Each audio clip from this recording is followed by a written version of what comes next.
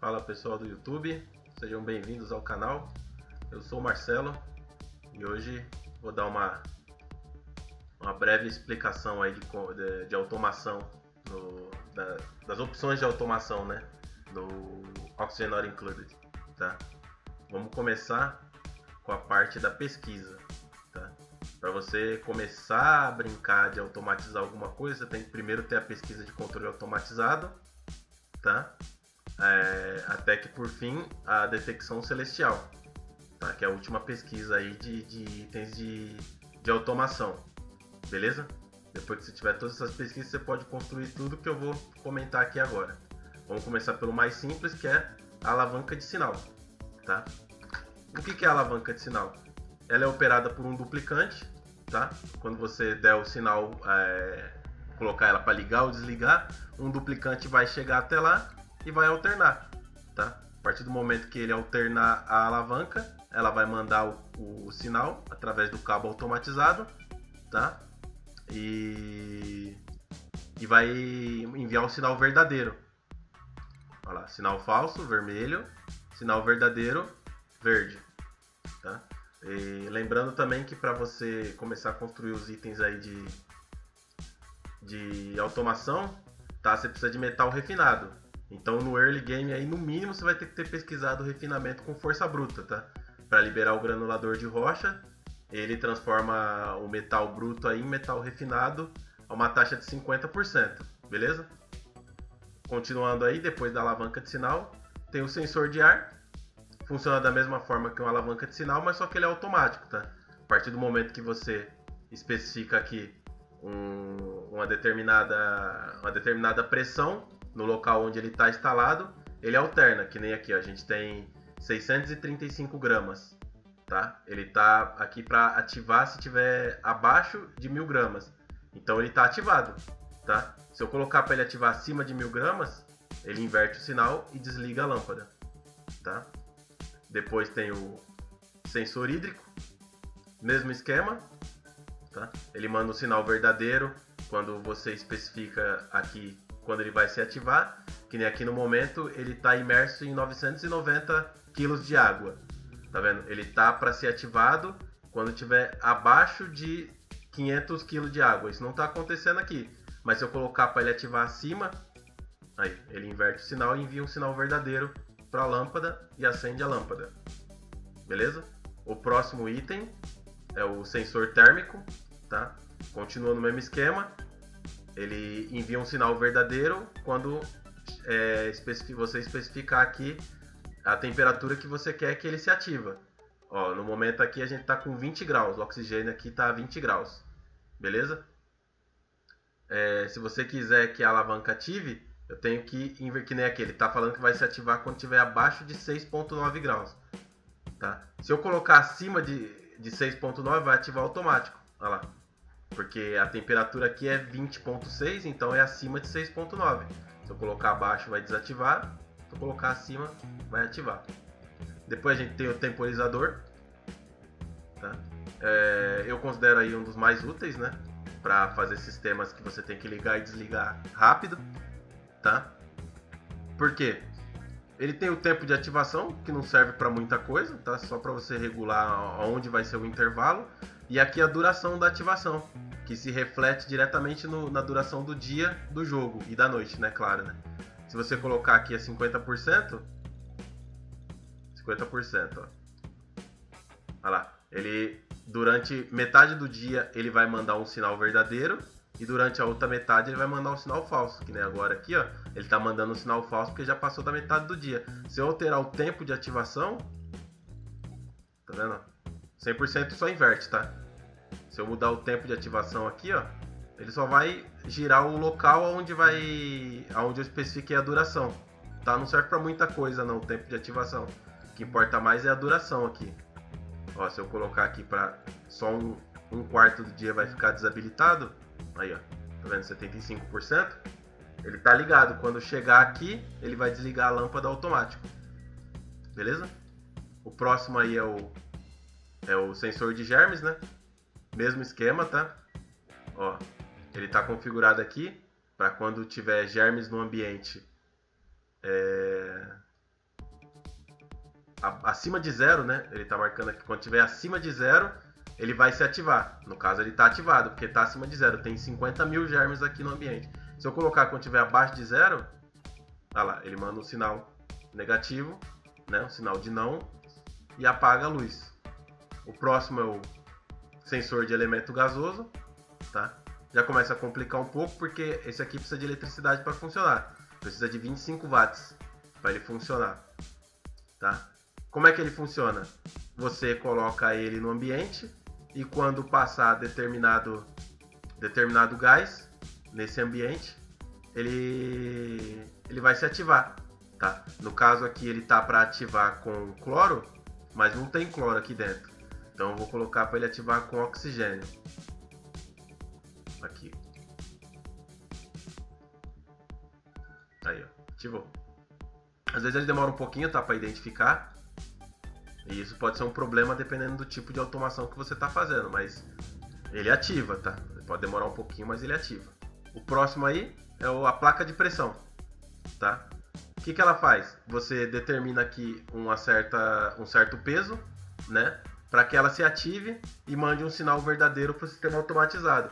E no momento ela está desabilitada. Eu vou colocar abaixo de 10 kg, ó, ela habilita.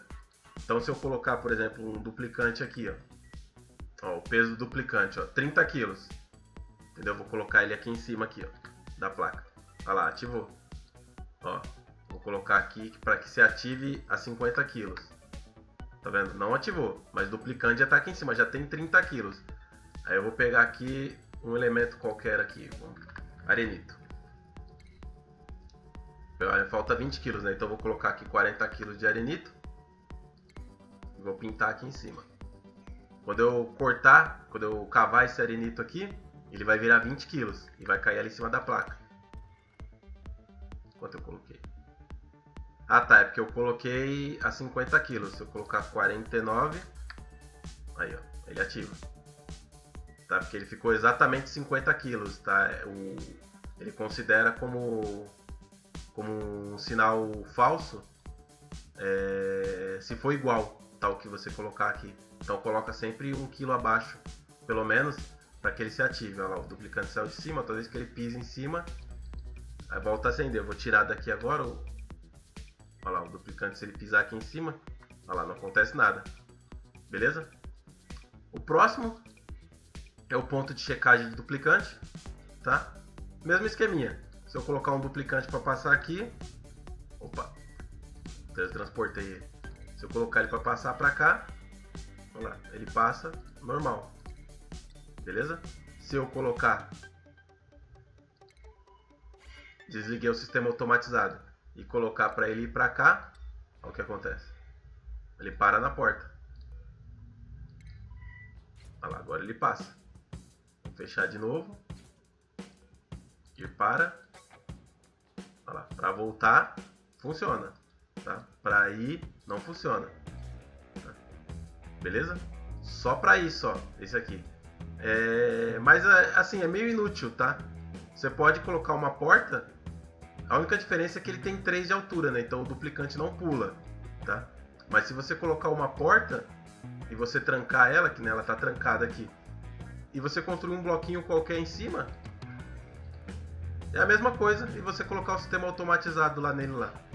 É a mesma coisa, só que você não vai gastar o o metal refinado, né? Você não vai gastar metal refinado, você vai gastar o metal comum para fazer a porta. Ó, vou colocar aqui ó, o cabinho aqui de cabo automatizado. Olha lá, tá aberto. Aí eu vou desligar. Deletar isso aqui. Tá vendo? Ele não vai passar da mesma maneira. Se eu ativar aqui, olha lá, vai abrir e ele vai passar. Aquela porta também fica aberta o tempo inteiro. Passa gás por ela, tá? Ela consome de energia, ela consome só 10 watts tá? Mas ela gasta o metal refinado, né? Aí fica a seu critério aí, qual que é o mais interessante, beleza? Vamos passar para o próximo aqui, que agora é o de eletricidade, né? O interrupedor de energia. Como você pode usar ele? Que nem aqui, a gente tem um sistema aqui com três destiladores de alga, tá? É, a energia tá chegando através desse destilador de alga pelo, por esse cabo aqui e tá passando por aqui pelo, pelo interrompedor de sinais. Vou ligar ele de volta. Ele funciona através da automação, tá? O interrompedor de sinais. Tá vendo? Que tem energia, agora eles estão energizados. Só não tem o cabo de saída e não tem limo dentro deles, né? Mas eles estão energizados. Então, como é que você pode utilizar esse esse sistema aqui de interrompedor de energia? Quando você quiser desligar uma série de equipamentos que estão em um determinado lugar, mas você não quer colocar, por exemplo, aqui o cabo automatizado em todos, tá vendo? Se eu colocar o cabo automatizado em todos aqui e desligar, é, é a mesma coisa, entendeu? Eles vão ficar desligados. E sem energia aqui no caso, né? Se eu tirar o interrompedor de energia aqui, eles, eles vão ficar desligados, mas com energia. Então, para você economizar, você pode utilizar esse sistema aqui. Você fecha um determinado lugar, é, desligando a eletricidade, ao invés de colocar cabo automatizado para todos. Tá? Você vai economizar cabo automatizado utilizando o interrompedor de sinais. Próximo aqui já é da parte dos canos, tá? É, começando pelo interrompedor de líquidos, tá? Ele ele precisa de eletricidade também, tá? Consome 10 watts, o interrompedor de líquido, e, e ele funciona através da automação como? A partir do momento que você envia um sinal falso ou verdadeiro para ele, ele vai interromper o fornecimento de líquido desse cano aqui, tá? Não importa qual seja o sinal, pode ser um sinal de pressão, pode ser um sinal, é, uma alavanca de sinal, pode ser um sinal de temperatura, um, qualquer coisa que seja. Enquanto o sinal for verdadeiro, ele vai deixar o líquido passar, tá? Enquanto o sinal for falso, ele não vai deixar o líquido passar, beleza? E aproveitando o gancho, né? Tem aí os três, os três sensores de cano, né? O primeiro é o, é o sensor de elemento do cano, então você determina um elemento aqui e a partir do momento que esse elemento foi identificado dentro do cano, ele vai mandar um sinal verdadeiro, que nem aqui agora. É, ele está desligado, né? Ele está desligado. Eu vou colocar aqui para que o sinal seja verdadeiro quando passar água aqui no cano. Aqui água. Olha lá. Ele libera o interrompedor de líquido e o interrompedor de líquido volta a funcionar. Eu vou colocar aqui ouro agora. Olha lá, ele desliga, o interrompedor para, a única água que continua pingando é a que estava à frente dele. Tá? Então, esse daqui, ele identifica o elemento que tem dentro do cano e libera o sinal conforme a necessidade. Tranquilo? O próximo aqui é o sensor de germes no cano. Funciona da mesma maneira, você estipula a quantidade de germes, tá? Que nem aqui, a água está completamente limpa, tá? Eu vou colocar aqui germes nessa água aqui. A água que está dentro do cano eu não posso mexer, tá? Vou colocar germes aqui, vamos copiar essa água aqui e vamos pintar ela com germes. Pronto, agora ela tem 55 mil germes. Ele vai ficar desligado porque aqui dentro do cano, a água que está parada não tem germes. Então o que eu vou fazer? Eu vou falar para ele aqui que quando a doença estiver abaixo de 100 mil, ele vai mandar um sinal verdadeiro. No caso, está abaixo de 100 mil. E mesmo com a água nova que vai passar aqui agora, vai continuar abaixo de 100 mil. Atualmente está 55, aqui embaixo está quanto? Aqui embaixo está 75 mil germes, tá vendo? Ele vai puxar aqui. Vou colocar aqui quando ele tiver abaixo de, de 70 mil, ele para de puxar a água. Lá, ele vai continuar puxando, enquanto, ele, enquanto não estipular aquele valor, aquele valor ali, ele não vai parar de puxar água. Colocar aqui 60 mil. Ó, significa que a água que está passando aqui dentro ainda está passando com essa quantidade de germes. Está passando abaixo de 60 mil. Tá? Agora eu vou colocar acima. Olha lá, a, a quantidade de água que tem aqui dentro não está acima de 60 mil germes. E aí ele interrompe o líquido. Beleza? Vamos construir aqui e vamos para o próximo. Que é o sensor térmico. Mesma coisa, tá? Mas com temperatura. Tá? Ó, a água aqui. Enquanto, ele só vai ligar quando a água estiver acima de 40 graus. Então eu vou colocar aqui abaixo de 40 graus ele vai mandar o sinal verdadeiro vai ligar a bomba e ela vai liberar o sinal de novo. A partir do momento que eu colocar abaixo, acima aqui de 40 graus, tá vendo como demora um pouco? Olha lá, ele envia o sinal, interrompe e para de mandar o líquido. Esses são os três sensores de, de líquido, tá? Os três sensores de, de gás funcionam da mesma maneira que o de líquido, tá? Sensor de gás, se eu colocar aqui o, o que tem oxigênio dentro, ele vai liberar a, o interrompedor de gás, que funciona igual ao interrompedor de líquido. E os três elementos também são a mesma coisa, tá? O sensor térmico, o sensor de germes e o, e o sensor de elemento, beleza? Você pode usar qualquer um dos três aí interligado com, a, com interrompedor de gás ou qualquer outra coisa que você queira fazer, tá? Desde que é, você envie o sinal falso ou verdadeiro para o determinado item que você queira ligar ou desligar. Por último aí, né, das construções né, de, de automação, tem o detector de meteoros, né? E aqui no caso ele já está até ativando aqui. Como ele funciona? É, quando ele detecta um meteoros, né, a caminho, ele ativa, tá? É, e aí ele envia um sinal é, falso, tá? Então o que acontece? Para você conseguir fechar as portas, você tem que usar uma porta não, tá? Porque ele vai ficar com, com o sinal verdadeiro o tempo inteiro. Então você tem que usar uma porta não para inverter o sinal dele, tá? Que nem aqui agora tá abrindo de novo, ó. Tá vendo? O sinal dele é falso, tá? Não, não tem chuva de meteoro, tá? Então o sinal é falso. E aí ele abre as comportas. Aí, ó, aí o painel volta a funcionar. Deixa só terminar de abrir aqui. Aí o painel volta a funcionar. O painel solar volta a carregar. Até que tenha outra chuva de meteoro. Vamos aguardar aqui para ver se, se acontece outra chuva de meteoro.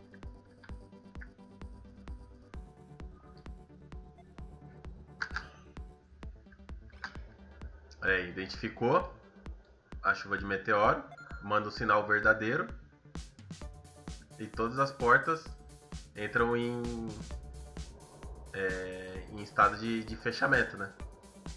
Aí o sinal voltou a ser falso, as portas abrem de novo.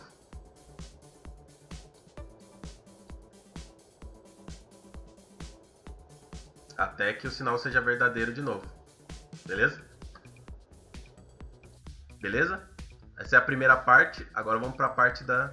Talvez a parte mais importante aí, que é a parte da, das portas lógicas, né? Vamos começar com a porta END. Como é que a porta END funciona? Fica ativo quando ambos os sistemas conectados às entradas estão ativos. Entra em espera quando uma ou as duas entradas estão em espera. Então aqui, ó, as duas estão verdadeiro, as duas entradas estão verdadeiro e a, aí a saída é verdadeira. Se uma das entradas ficar falsa, Opa. Se uma das entradas ficar falsa, a saída é falsa também. Se as duas ficarem falsa, a saída é falsa também. Então a porta end só funciona se as duas saídas forem verdadeiras. Beleza? Olha lá, as duas saídas, vou ligar. Duas saídas verdadeiras, sinal verdadeiro. Ok? Você entender um pouquinho de tabela verdade, isso aqui não tem muito segredo para você não, tá? Mas para quem não manja nada aí de tabela verdade, dessa parte aí, é... é só prestar atenção aqui que não tem segredo, tá? O end ele fica em espera quando uma das portas ou as duas portas estão em espera. Ou seja, quando as duas portas é, ou uma das portas o sinal for não, né, o sinal for falso, ele vai ser falso a saída. Beleza? Agora vem a porta OR. Como é que ela funciona? Fica ativo se um ou mais sistemas conectados às entradas estiverem ativos. Fica em espera quando nenhuma das entradas está ativa, tá? Então, olha lá, eu tenho dois sinais verdadeiros. Deixa eu mudar aqui. Tenho dois sinais verdadeiros, a saída é verdadeira. Se eu mudar esse sinal aqui para falso, a saída continua verdadeira. Por quê? Porque ele é uma porta ou, tá? Traduzindo para o português aí, né? Ela é uma porta ou. Se um ou outro estiver ativo, ele fica ativo. Se os dois estiver inativo, ele fica inativo. Se os dois estiver ativo, ele fica ativo. Fiz clicar na alavanca aqui. Aí. Se os dois estiver ativo, ele fica ativo. Se um estiver ativo e o outro é, tiver em espera, né? É, falso ou verdadeiro, né? Ele é verdadeiro, beleza? Ele só vai ser falso se os dois forem falsos. Se as duas entradas forem falsas. Beleza? Agora a porta XOR, né? Pode ficar ativo ou espera. Opa, desculpa. Fica ativo se um dos sistemas conectados à entrada estiver ativo. Entra em espera se ambos ou nenhuma das entradas estiverem ativas. Como isso funciona? Ó, as duas entradas estão verdadeiras. A saída é falsa. Se eu desligar uma das saídas, a saída é verdadeira. Se eu desligar as duas, a saída é falsa. Beleza? Então, quando é que ele vai ficar ativo? Quando uma das duas for ativo, só. Tá? Se as duas estiver ativo, ele é falso a saída. Beleza? A porta não é autoexplicativa, né? Ela entra um sinal e o sinal que entrar, ela devolve ao contrário, tá? Então tá entrando aqui o sinal falso, eu vou mandar um sinal verdadeiro, ela inverte. Olha lá.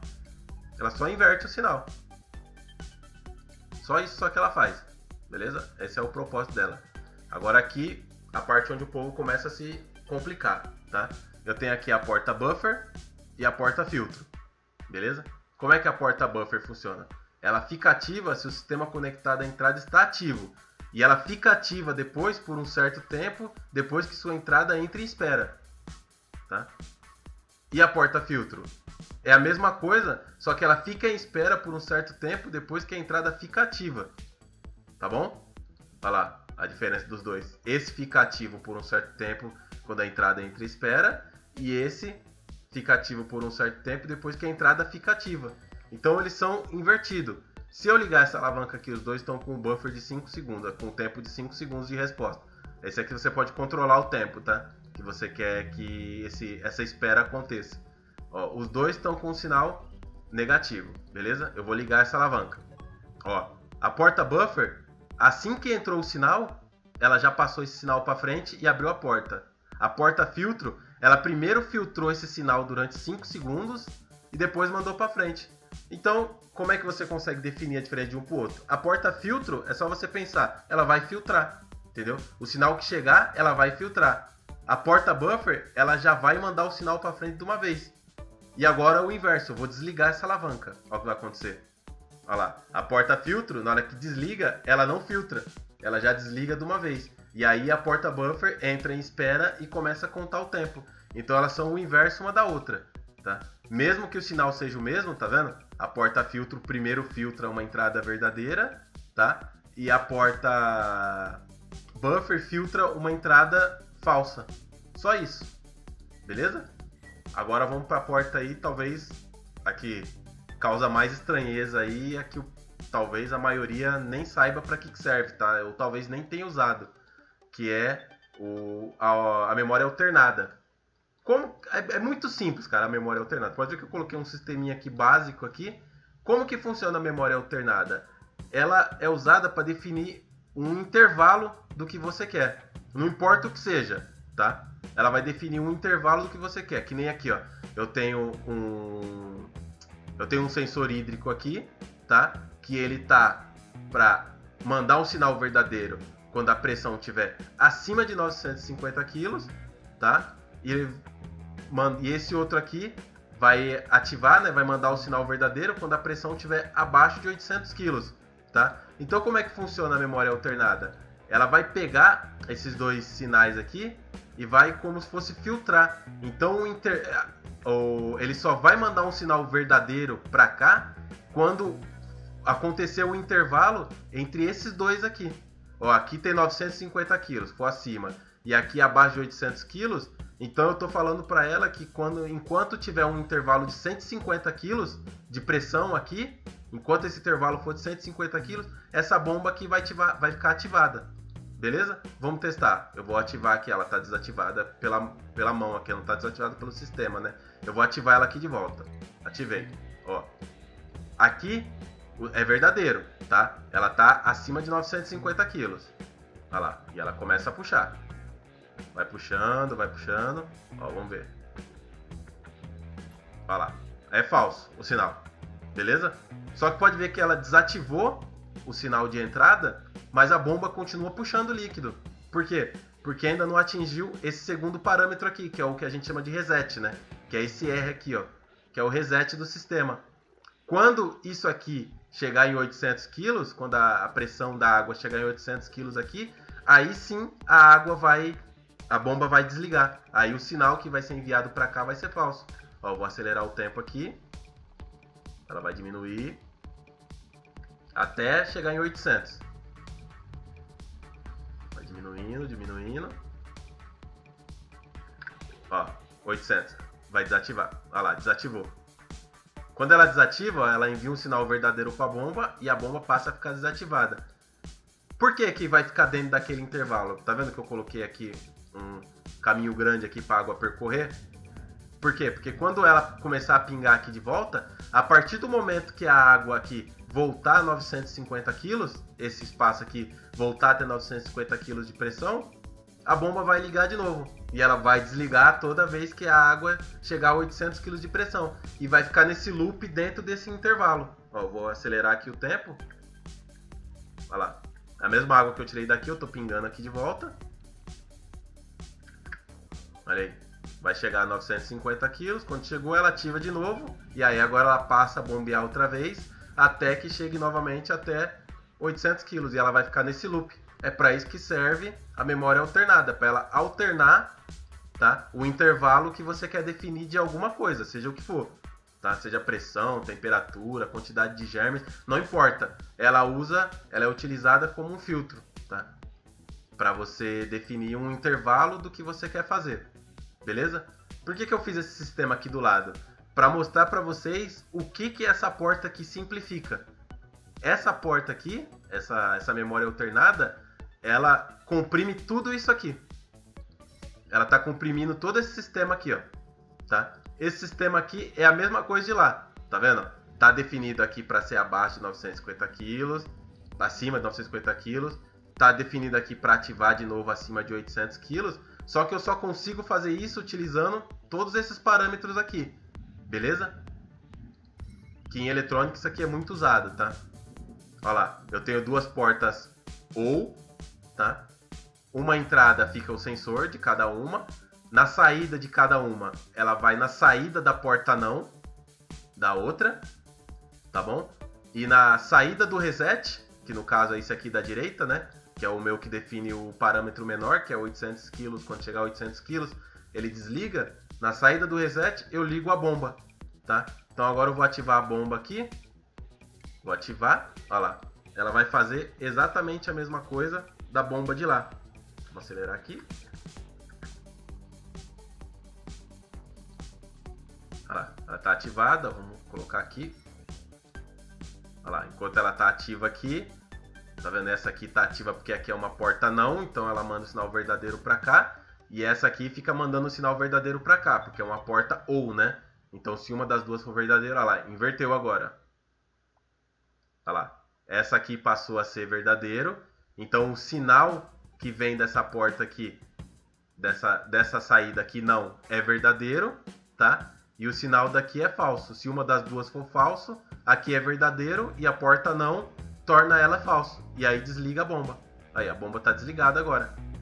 Quando atingir o intervalo lá de novo, a bomba, olha lá, ligou outra vez, ó, passou a ser verdadeiro, olha lá, já desligou de novo, mas ela vai ficar puxando água aí até que esse sinal aqui seja verdadeiro. Quando esse passar que ser verdadeiro, esse aqui passa a ser falso.